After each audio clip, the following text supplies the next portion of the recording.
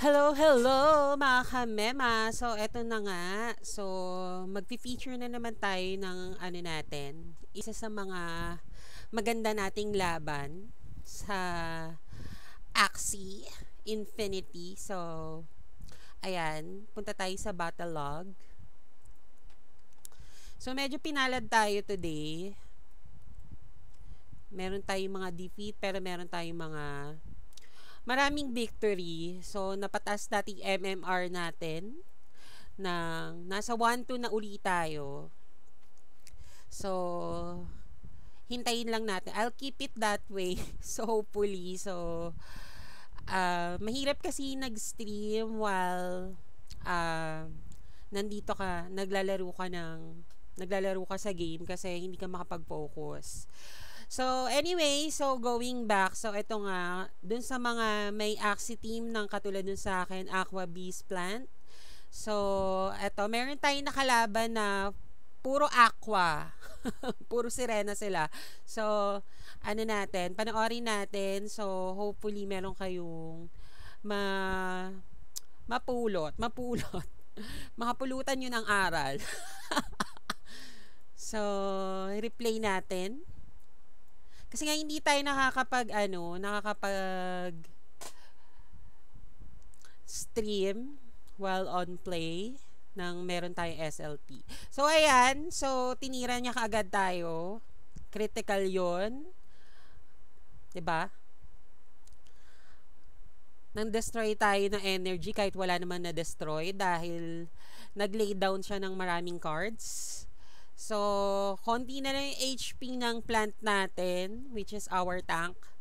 And, patuloy siya sa pagtira. Napaka-aggressive nito kasi mga aqua sila. So, yan. Meron tayong shield. Pero, meron siyang Nemo doon. Ginagamitan niya tayo ng Nemo. Maraming Nemo para makagain siya ng maraming energy. So, ayan, nagpapaka-aggressive na lang din tayo. So, makikita nyo, yung tatlo, ang bibilis nila, ba? So 1 2 3 sila yung unang titira. Yung mga aksi ko nasa dulo. So wala akong choice. Marami pa tas marami silang energy. So hinayaan ko na lang patayin nila yung ano ko, yung beast ko nakita nyo, I'm all alone. Mag-isa na lang ako.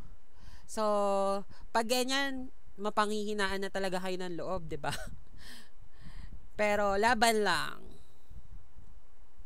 So nakagain tayo dun sa round na 'yon ng energy. So meron tayong um ilan?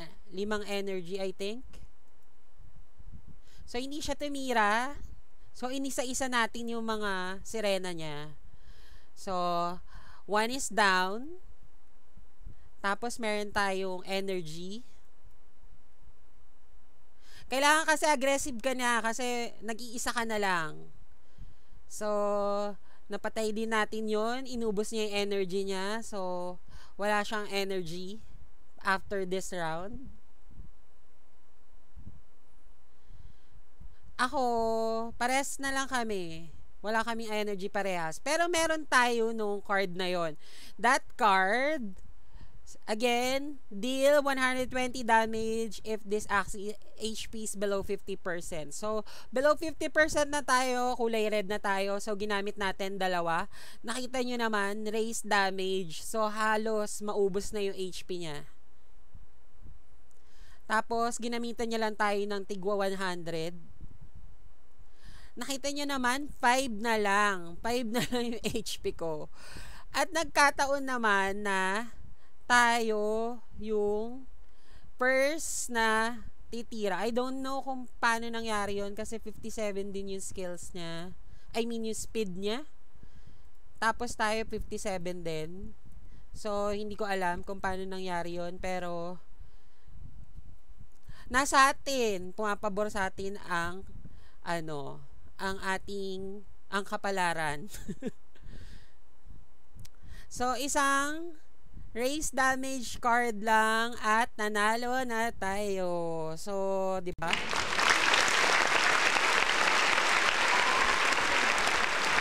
So, yun lang naman.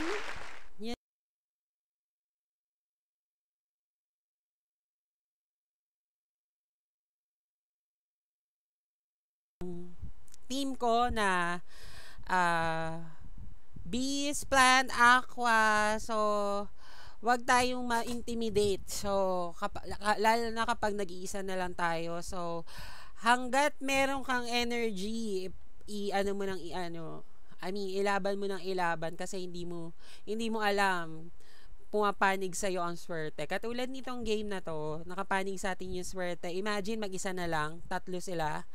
Tapos sa last na last round, tayo pa yung unang titira, so nanalo pa tayo. So, yun lang.